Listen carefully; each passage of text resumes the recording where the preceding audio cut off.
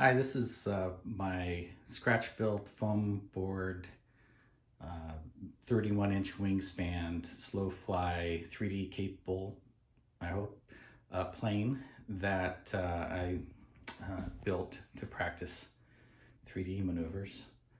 Uh, let's see, it has a 2212 920 motor, I, I maidened it with a 3S 1500 milliamp hour battery. That went pretty well, needs more performance.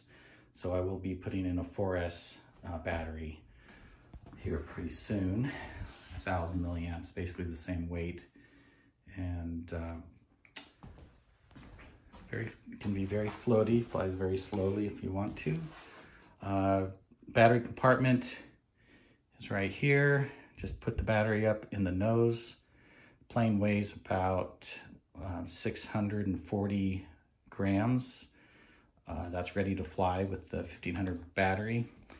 And on the Maiden, I only had about 800 uh, grams of thrust. So I'll get that up to almost 1200 grams with the 4S, 4S battery in this motor.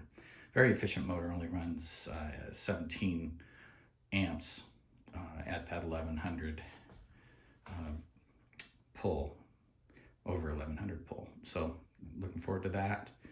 Uh, I think I mentioned, it's a fully symmetrical wingspan.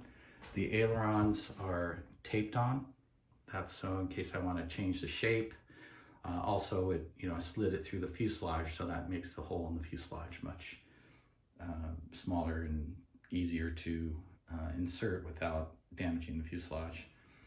Uh, fuselage double walled till the back of the uh, back of the wing. Uh, canopy is made from a Costco croissant roll package. You know, it's kind of flat package, used a heat gun and just kind of wrapped it around. Uh, turned out okay. I mean, this is a foam board plane. I'm not trying to do a crystal clear canopy or anything. And just, you can watch the Maiden, I'll put that up. Uh, and then probably another one after I get the 4S in there. I need new ESC for that.